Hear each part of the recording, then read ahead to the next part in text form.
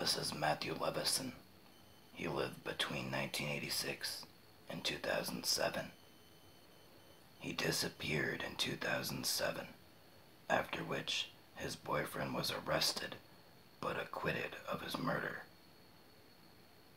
Ten years later, the New South Wales Attorney General offered him a plea deal.